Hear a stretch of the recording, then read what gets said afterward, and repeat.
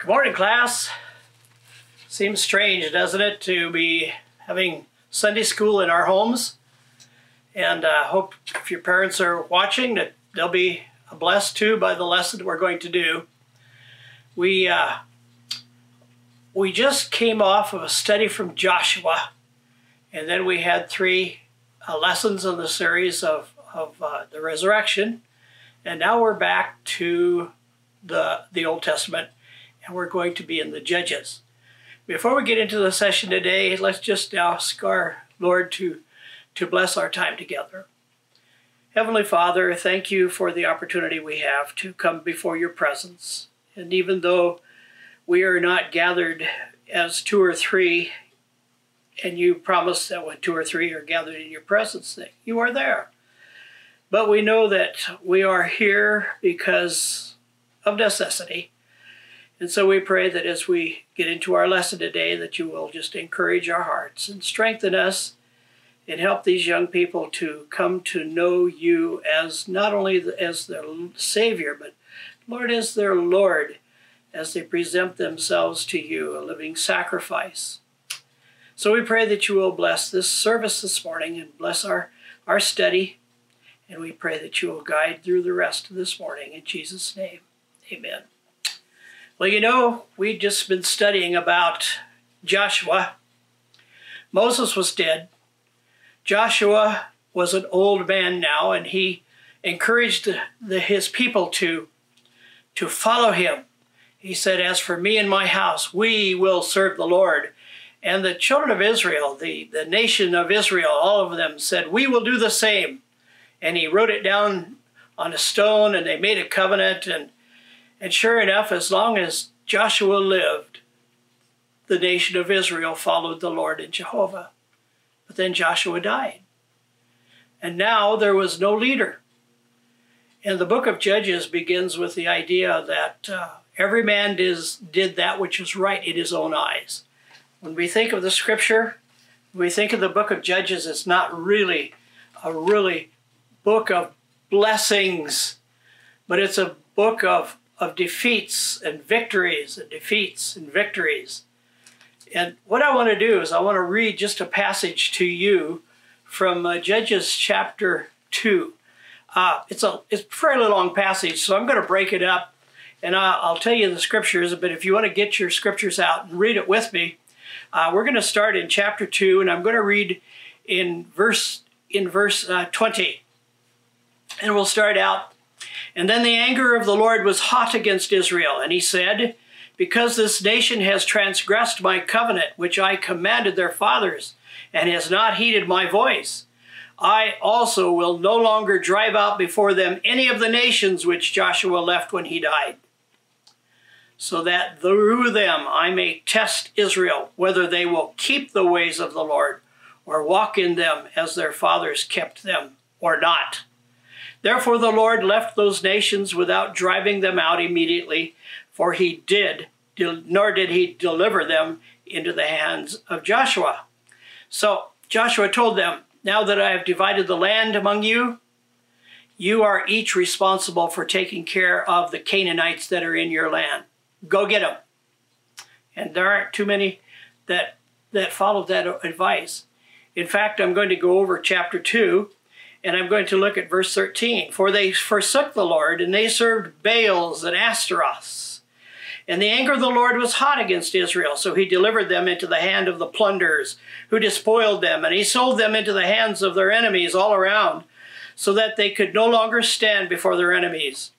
And wherever they went out, the hand of the Lord was against them for calamity, as the Lord said had said, and as the Lord had sworn to them and they were greatly distressed. Nevertheless, the Lord raised up judges who delivered them out of the hand of those who plundered them. Yet they would not listen to their judges, but they played on faithfully with other gods and bowed down to them. They turned quickly from the way in which their fathers walked in obeying the commandments of the Lord. They did not do so as the Lord as their fathers did. And when the Lord raised up judges for them, the Lord was with the judge and delivered them out of the hand of the enemies all the days of the judge. For the Lord was moved to pity with their groaning, because of those who oppressed them and harassed them.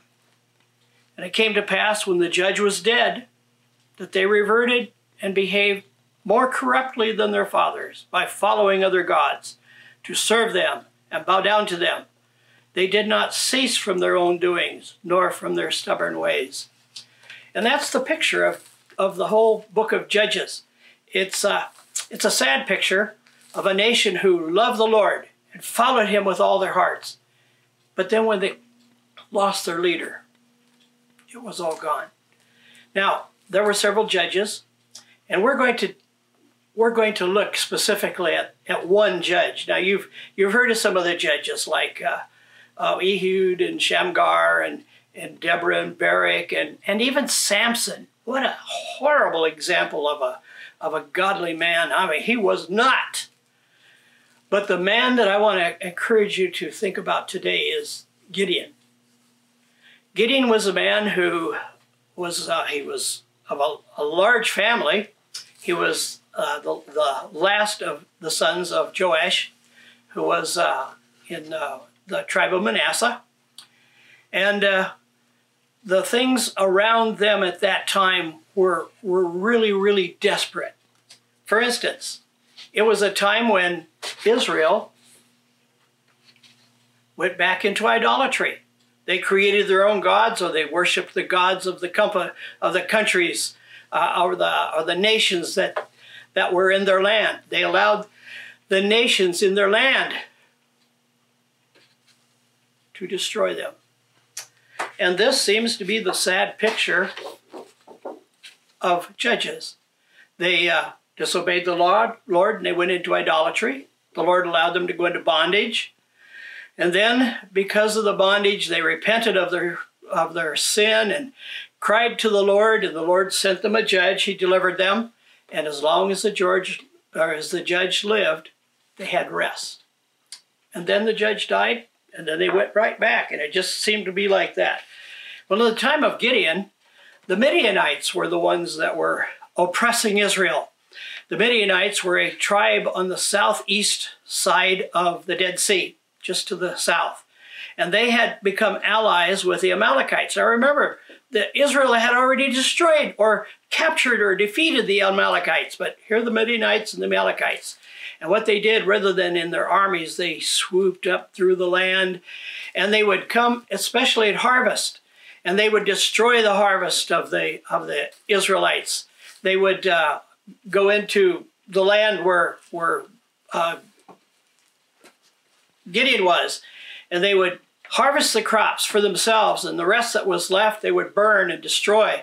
And they would just live on the land, and, and the Israelites began to run, hide in caves, hide anywhere they could. In fact, when we see when we see Gideon, he's threshing what little wheat he had in a wine press. It was a place, uh, a, a, circle of stone where they would press the wine, but of course there was no, there were no grapes, there was no harvest, and he was in there threshing what little wheat he could get. Of course, there's no wind. It'd be hard to thresh wheat when there's no wind. But he was there one day threshing wheat when all of a sudden he saw a man close to him, whether he was sitting or, or standing, we are not tell, uh, told, but the picture shows this man sitting there. Now, the man, of course, had wings. Well, of course, we know that, that the angels didn't really have wings. Uh, at least uh, when, when Joshua saw the angel of the Lord, he was just a regular man. He was a grand man. When Abraham entertained the angel of the Lord. So the, we, we think it's the angel of the Lord. Maybe the uh, pre, uh, pre New Testament uh, picture of the Lord Jesus Christ. But it, it says in the scripture, the angel of the Lord. And later on, after Gideon realized what had happened, he said, I have seen the Lord face to face and I will die.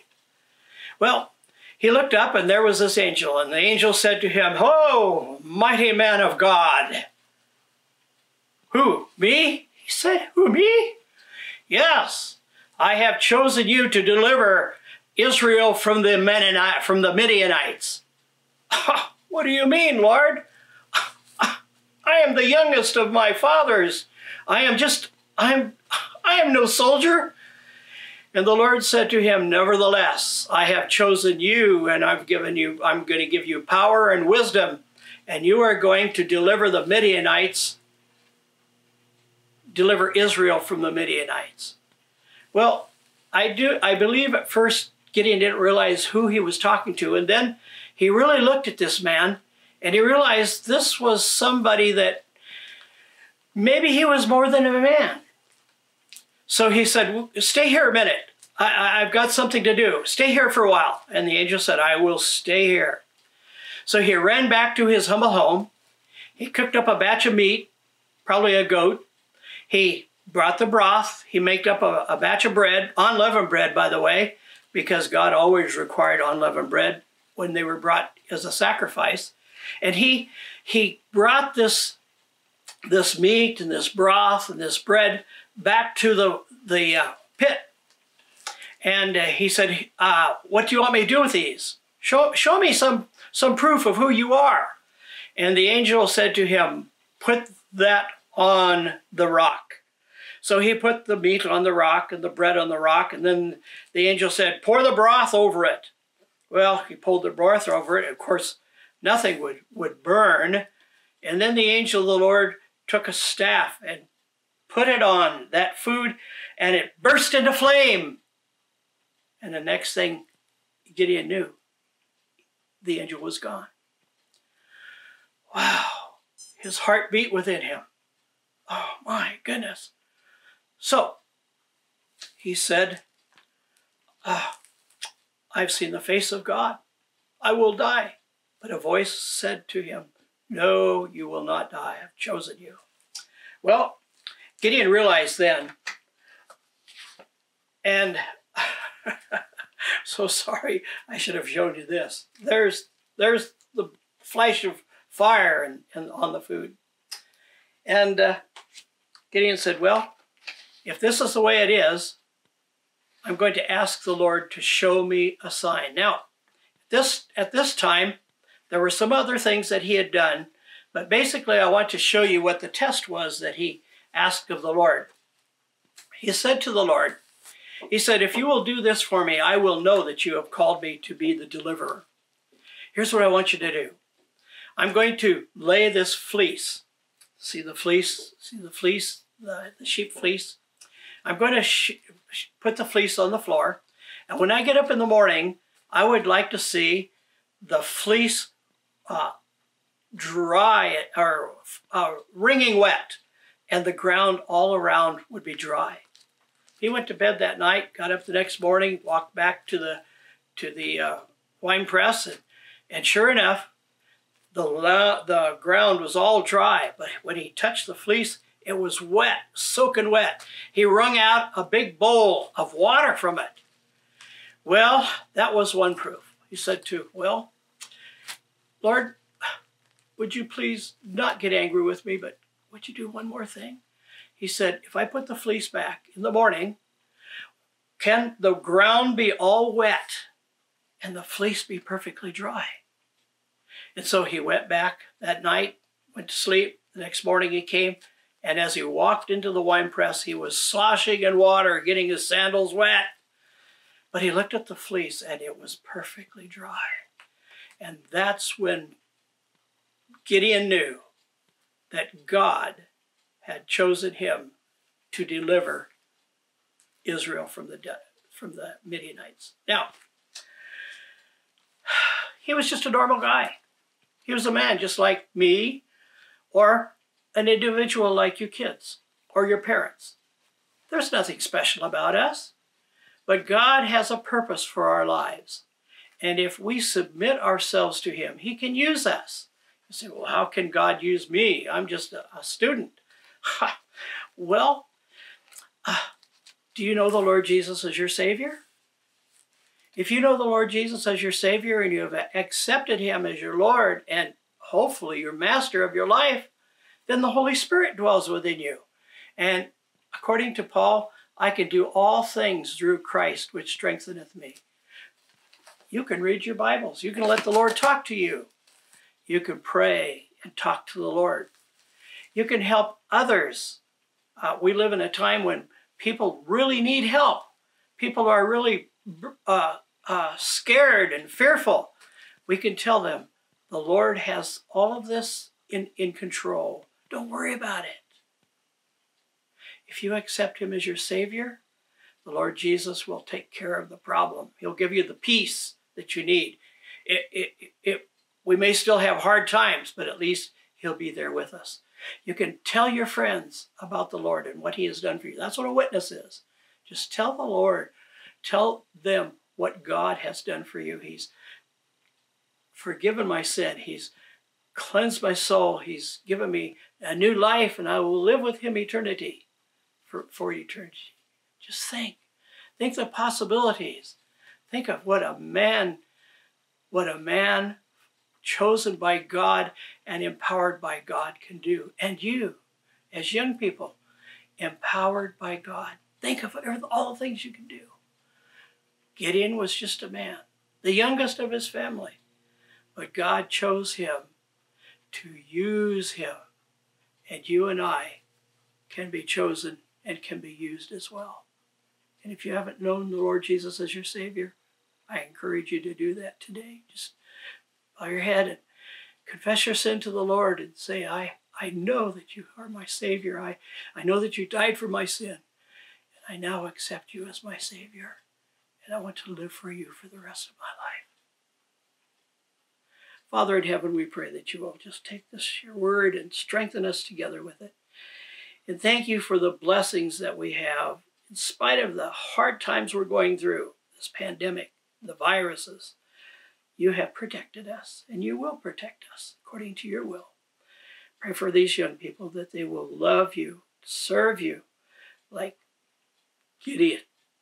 They will do what you what you call them to do. And we thank you so very much.